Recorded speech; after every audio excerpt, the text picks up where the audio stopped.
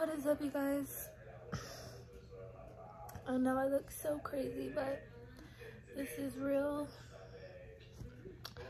I'm currently having pains. I don't know if they're contractions or not, but I've never felt something like this before. Everyone keeps telling me Braxton Hicks don't hurt, and it's just a tiny feeling. And these feel like period cramps. I keep trying to time them, but um, like it just doesn't stop. Like everyone's like, oh, they'll be like a minute apart, but mine just doesn't stop. Like it just, it's just like an ongoing pain. Like, uh, I don't know how to explain it. I wish I knew how to explain it. It's currently 8.31 and at night.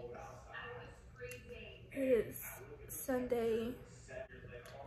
But if it doesn't stop within an hour, hour and a half, I'm just gonna go to the hospital because I've been feeling like this since yesterday. And I've really been like saying I don't want to go because I just don't want them to turn me around. Like once I go to the hospital, I wanted that to be it, like that that to be the moment, but I just rather get checked out and let them give me something to help with the contractions. Because this pain is like ugh, it hurts so bad. But I'll keep you guys updated okay so it's today Monday mm-hmm. so it is Monday October 26th 6.13 in the morning and my water broke. We're on the way to the hospital. Um, we were sleeping, obviously, and I woke up because I felt like I was sweating, and then like obviously I touched myself. I'm like, what the fuck? And so I got up. I wasn't gonna get up, and then someone was like, just get up and then I turned my flashlight on my phone and I seen that the whole bed was wet. And at first I was like damn did I piss on myself? Then I but I like smelt it. And then when I stood up it just kept dripping. So I was like oh my god this is definitely my water. And I freaking tell Mikey my water breaks. And he just looks at me. He just looks at me and I'm like hello did you hear what I just said? My water broke. Like, what the hell? And then he realized what I said and then hopped up and was like, let's go. I was trying to take a shower, freaking fix my hair. And he was like, no, let's go. So, it is what it is. Um, I'm starting to have contractions, but they're pretty bearable right now. So, I don't know. I'm scared. Like, I don't want to get to the hospital and they're like, you're way too far dilated, we can't give you the epidural, because then I'll be like, well, I'm not having this baby. Uh, just give me a C-section. Oh. Because I don't, I can't, I don't, I, I just, I can't do natural. I can't. But we're about to have a baby. So crazy. I'm just so, I don't even know what to say. It is so like, what the heck?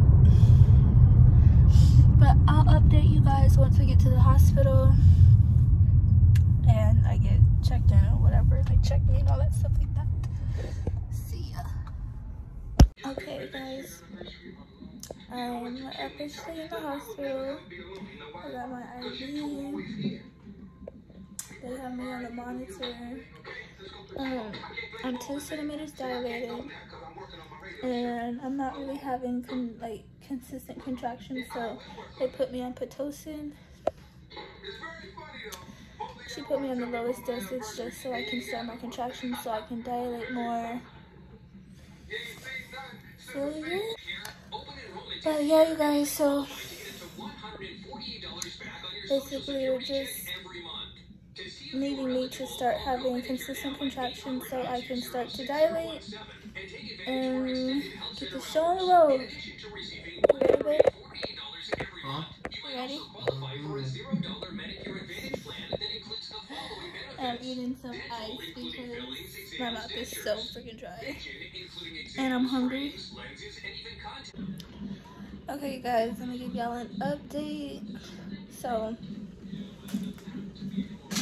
like I said, they did put me on Pitocin to make my contractions come, but I wasn't feeling it. Like, I was sitting on the ball and she was saying I was having contractions, but I literally didn't feel it at all.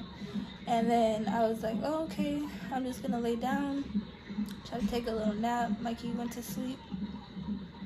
And I was on the phone with my mom.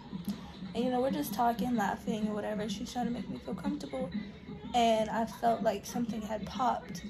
And when I tell you, I felt the contractions so bad. Like, the pain was horrible. It was like, the pain was so bad, it made me freaking throw up and the IV had me so cold. I was shaking like really bad. So I just went and decided to get the um, epidural.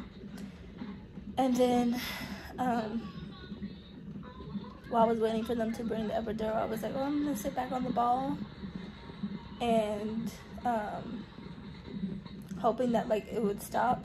And then the nurse all comes back and she's like, oh, okay, are you ready for the epidural? He's about to come right now or if you want to wait he has a c-section to do at 10:30, so it'll be like another 30 to an hour. And at first i was like okay y'all just wait. And then the freaking contraction hit me and i was like just kidding tell him to come. And i was so scared like about to get to get the epidural because like if you move wrong or something goes bad freaking you know you could be paralyzed but Mikey calmed me down and I did it, right, babe? And he said I was a good epidural person. so that made me feel good because I was freaking so scared. But it's starting to work. My legs are getting really tingly. So I'm gonna try to rest. Probably do my makeup so I could look like something. And yeah. Oh, and I'm three centimeters dilated, right? Yeah, I'm three centimeters dilated, so. Okay, so. Um. Damn, what did I say last? Oh, yeah. So I got checked again. And I'm four centimeters now, so that would by pretty fast. So, and she put me a peanut ball. And I'm sorry if it's so shaky. I'm just, I got the shakes. I really want to freaking do my makeup, but mm, I'm gonna wait a little longer. It's going by pretty fast, huh, babe? Hmm? No. I said it's going by pretty fast. Mm -hmm. We got here at 6.30. And what time is it right now? 11.30.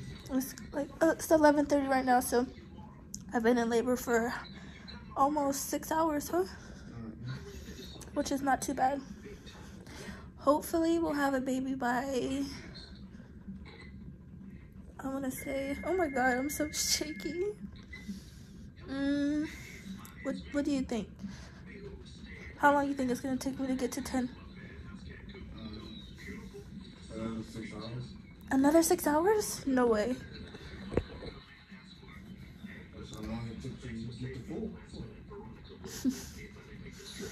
I think I'm gonna have the baby probably three o'clock, four o'clock.